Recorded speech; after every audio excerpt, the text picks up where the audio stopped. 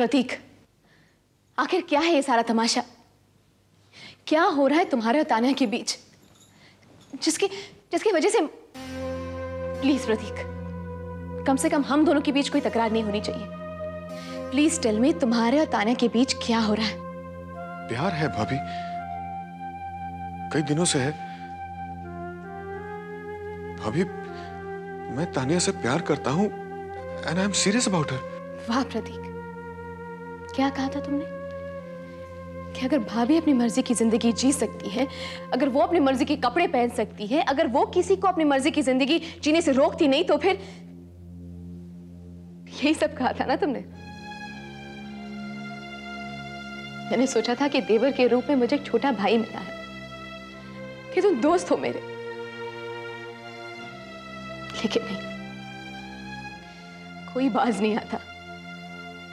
कोई बाज नहीं आता तकलीफ़ के टाइम में भी। Not even you Prateek.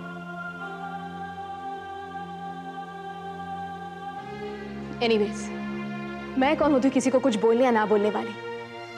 It's your life Prateek. Make it or break it I don't care बस आई जस्ट होप कि नीलू मुझे इस सब के लिए ब्लेम नहीं करती। आप मुझे गलत समझ रही हैं, भाभी। मैं आपकी इज़्ज़त करता हूँ। मैंने तो आपका उदाहरण सिर्फ़ इसलिए दिया ताकि मम्मी और पापा तानिया को भी उसी तरह एक्सेप्ट कर ले जिस तरह आपको किया। प्लीज़ प्रतीक।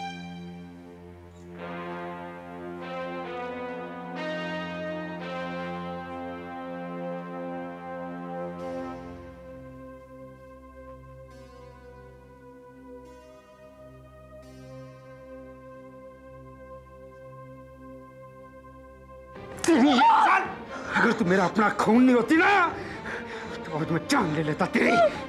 मैं आपका खून हूँ। कौन है मेरा बाप? जान सकती हूँ मैं। अब वो शालू और मंजू दोनों सगी बहनें दोनों का आपस में खून का रिश्ता है कि नहीं? और तू उन्हीं में से एक की बेटी है तो अपना ही खून है अपनी औलाद है। कुछ तो गड़बड़ है। पापा ने क्यों कहा? खून। अपना खून। और फिर जवाब तो दिया लेकिन लेकिन सच नहीं कह रहे थे। कह रहे थे कि नहीं नहीं कुछ सच नहीं कुछ सच नहीं था। पापा अजीब तरीके से बात कर रहे थे। मैं मैं किसकी बेटी हूँ? कौन है मेरा बाप? कौन?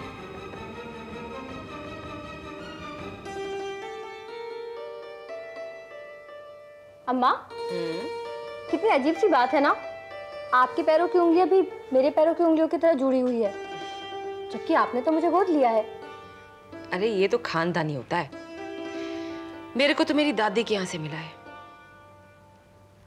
तू देखना तेरी दादी के यहाँ भी ना किसी ना किसी के ज़रूर होगा। अच्छा? हम्म तभी तो तेरी उंगलियाँ भी जुड़ी हुई हैं। एक बार दिखाओ। अरे बाबा देख देख। देखो। हम्म। सेम। हम्म। सेम। मैं मैं पता करती हूँ कि सच क्या है। उंगलियों का इस तरह जुड़ा होना सच में हेरिडिटी होता है क्या? किसी डॉक्टर से पूछना होगा। मुझे पता तो करना ही होगा। I have to find out I just have to